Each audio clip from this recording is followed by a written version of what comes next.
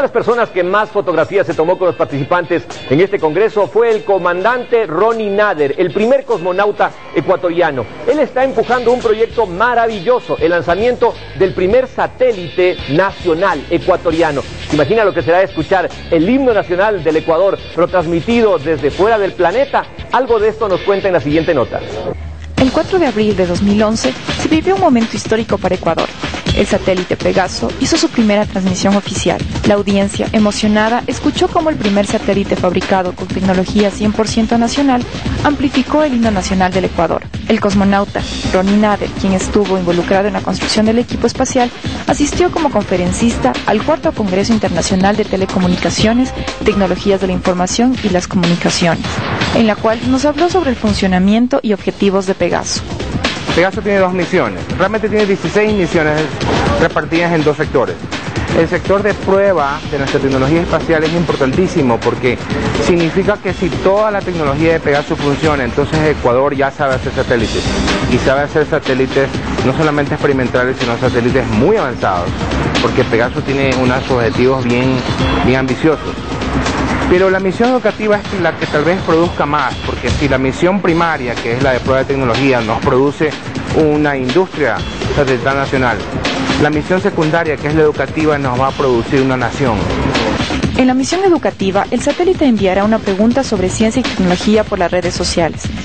Los estudiantes podrán contestar en el web de EXA y si lo hicieron en forma correcta, tendrán acceso a la cámara en la nave observando en tiempo real lo que el satélite ve será como una ventana al espacio. Sí dice el astronauta, yo simplemente me di cuenta de que eso es lo que era, eso es lo que me tomó 40 años probarlo. Convencer a los a los rusos, que son el único país que entrena eh, gente que no es nacional de ellos, ¿no? gente que no nació en Rusia para... Bueno, en Rusia entrena todo el mundo. Eh, convencerlos de, hacer el programa espacial y todo lo demás. Y una cosa que siempre ayudó muchísimo fue eh, el apoyo incondicional de la Fuerza Aérea, por eso siempre hay Fuerza, Fuerza Aérea los verá que andan de la mano. Y es porque somos instituciones que somos muy, eh, muy, hermanas. Yo recuerdo una anécdota que, y recuerdo la fecha, abril del 2001. Era más o menos al anochecer y estaba con mi hijo que en ese tiempo tenía tres años, Y entonces en eso vimos pasar un puntito de luz en la, entre las estrellas, porque estaba estrellado, como una estrellita, ¿no? Que pasaba y eso obviamente es un satélite, pues, ¿no? Entonces yo decía, mira hijo, mira un satélite. Papá, ¿qué es un satélite? y bueno, entonces en eso llegamos a la pregunta, no sé cómo llegamos a la pregunta y me, pregunta, papá, ¿Ecuador tiene satélites? Y yo me cayó una nube negra encima.